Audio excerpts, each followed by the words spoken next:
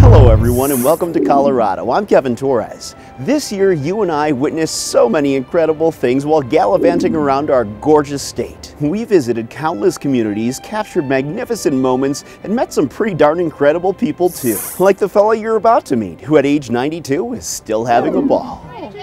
Catch the ball, please. Now, I don't want to jinx his record, Shh, knock on wood. Where's wood? but there's one player in particular Nice going, Harry. We'll see you on TV. who's stepping up Remember, this is just a game for fun. You don't need to hit the and about to hit a historic milestone.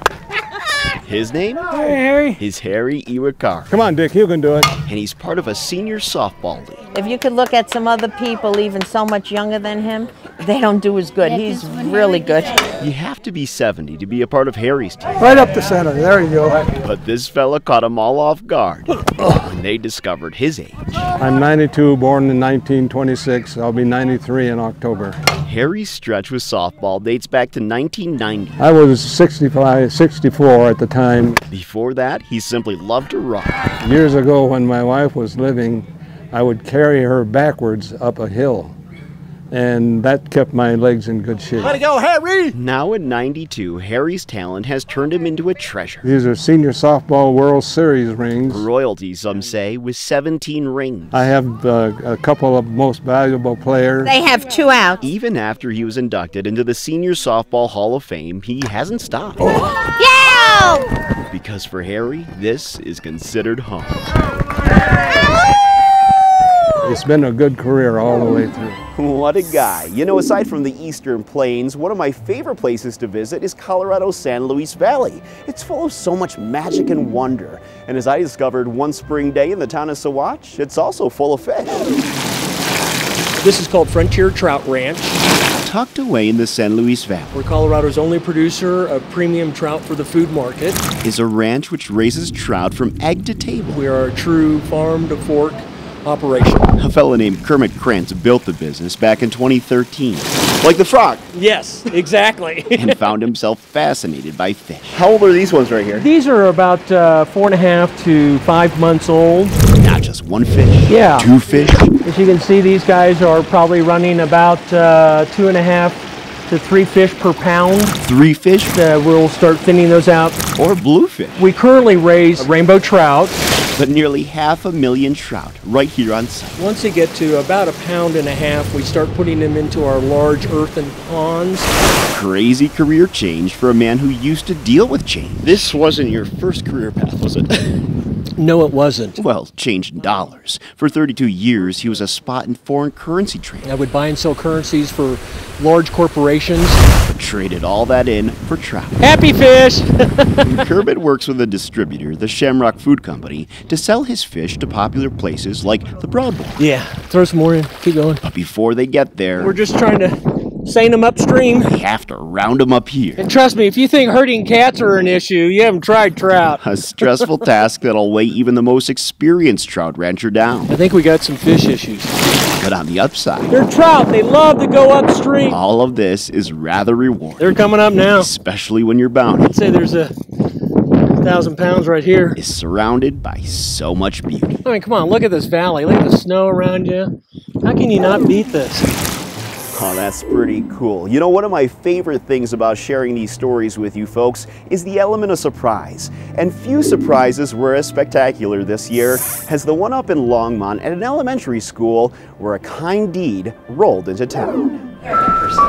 We are in Mountain View Elementary here in Longmont, Colorado. Gymnasium-based assemblies have always had a reputation for wiping sleepy students out. Give them your best attention. But after Principal Pacone whispered a wakeful wish, their tiny eyes opened with surprise as a new face moved forward. One of our programs is called Treads and Trails. Diana Ralston is with a nonprofit group called Can'd Aid. Its goal is to get kiddos, especially in low income schools, to put down their electronics and explore the outdoors.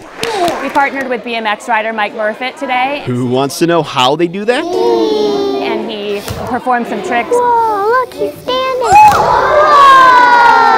Talked about the importance of following their dreams. That was so cool, right, Eliana? Well, by surprising the kiddos like Sophia with some BMX tricks and perhaps this. Does anybody have any idea what might be behind these curtains right here? One student guessed giant fries, another said ice cream. I think they're bikes for us, right? And Sophia? Look, bikes for us! Bikes for us! Well, she nailed it. Some were so startled they dipped into a happy dance, all thanks to Can'd Aid. We just surprised 47 first graders with brand new bikes and helmets. What do you think, Miguel? Yeah, thought so. A piece of kindness pie, thought Elisa Tina. Really excited! And Sophia, well, she jumped for joy.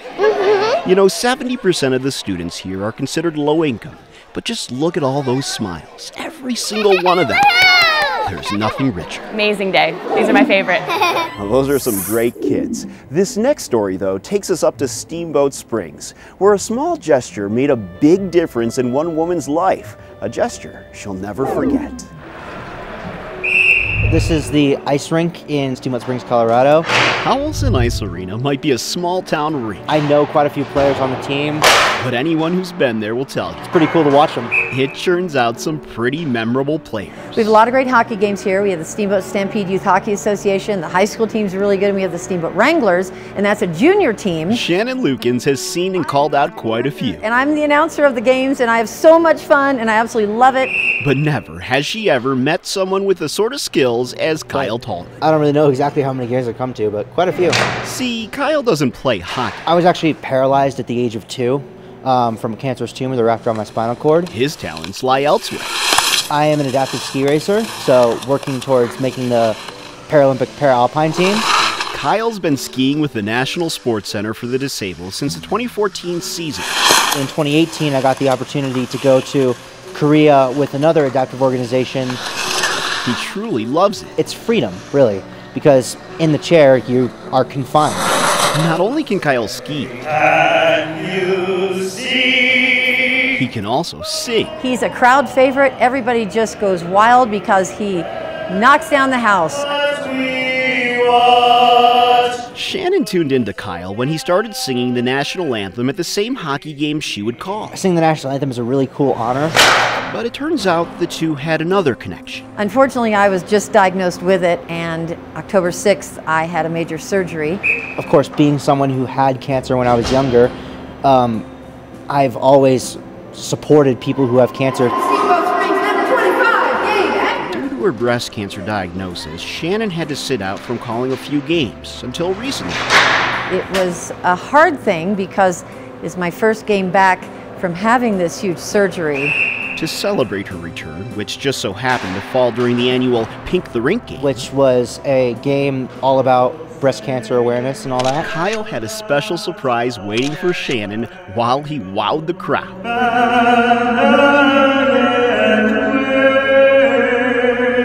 Had no idea what was going on because I'm getting ready for the next song and introducing the starting lineup.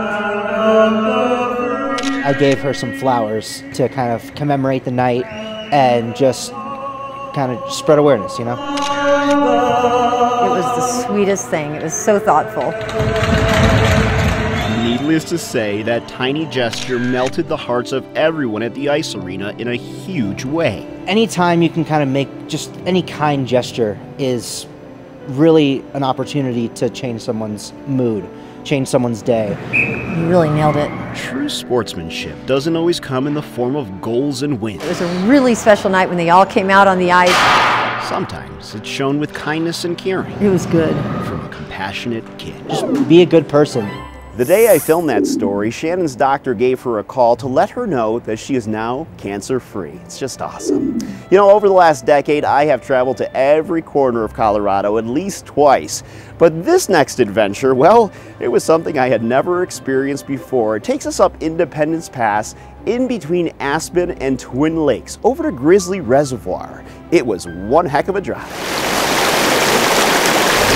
We're at an elevation of 10,600 feet up here, In a picturesque yet remote part of Pitkin County. about 10 miles as the crow flies from Aspen. I watched as a pickup truck of all things poured out of a pipe. We pretty much use this tunnel all year round. Inside the truck were Glenn and Kim Shriver. We're driving into the east portal of the Twin Lakes Tunnel. They live out here, and this nine and a half foot round tunnel is actually their driveway. You could fit a mid-sized pickup in here, but not a, not a full size. It reminded me of a certain entrance for a certain superhero. Yeah, well, look up ahead here. It's it is like a bat cave. Coupled in. So then we pop out of here with one super view. There's Grizzly Reservoir.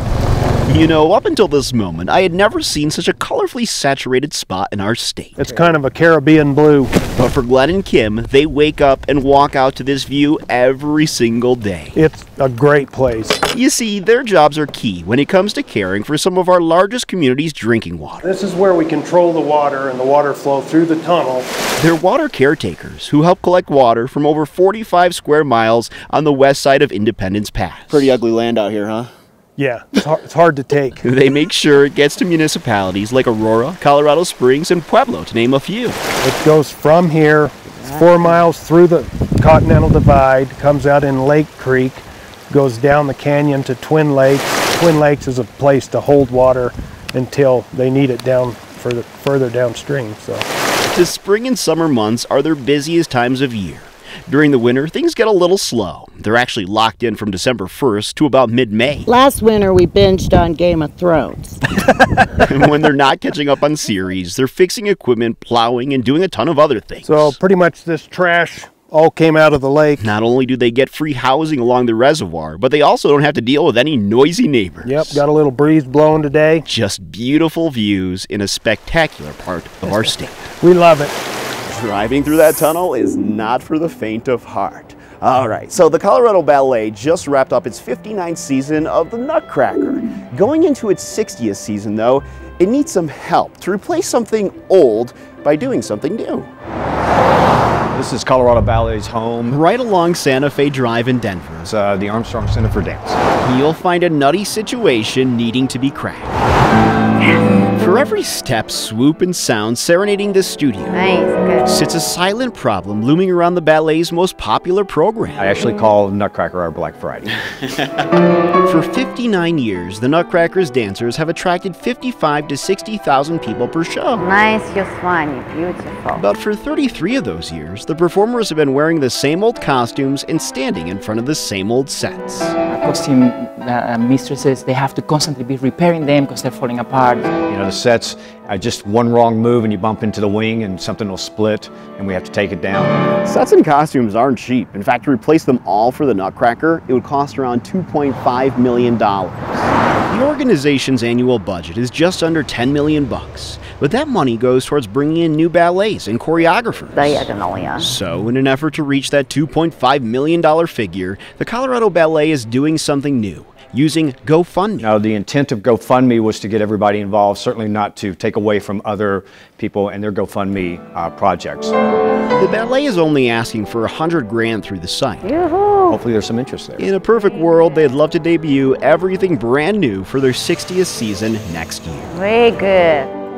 It's a great group there, and I hope they reach their goal. You know, every single person you met during this program has one thing in common. They're all dedicated to their own individual cause, which is fitting for this last story, because you're about to meet a teacher from Lakewood who's all about dedication. All right, so five. For what it's worth, the research being done in Shanna Etzmiller's classroom So you have about 25 more minutes. allows students to see and understand biology We're a group of four, cup. in a hands-on way. So they were given a problem. How do we design a pill so that a, a fifth grader can take it without it harming her stomach? Do you need some stomach acid?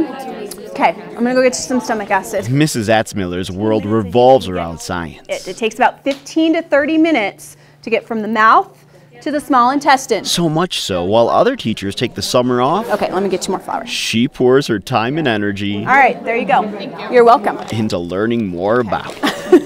I've done internships for the last two summers in uh, bioscience companies. See if you can get that lower. That's right. She spends her off months learning new research How'd you guys figure out your fraction? What did you guys do? and shares that newfound knowledge with her students. I want to make sure that my students have the scientific skills um, needed to go right into a science career outside of high school. Oh, you're gonna drink it? Awesome. No, don't drink it. Her strong work ethic has made a difference The Colorado Bioscience Institute named me um, Educator of the Year. while showing her students anything in life is possible, especially with dedication and determination. All right, how we doing over here? That's the sort of teacher any student would be lucky to have. All right, guys, that about does it for this edition of Colorado. If you have a story idea for me, I'd love to hear about it. The best way to reach me is on Facebook. You can find me at facebook.com slash reporter Kevin Torres. Shoot me a message. I check them daily. Thanks so much for watching this digital edition of Colorado. I'm Kevin Torres, and I'll see you down the road.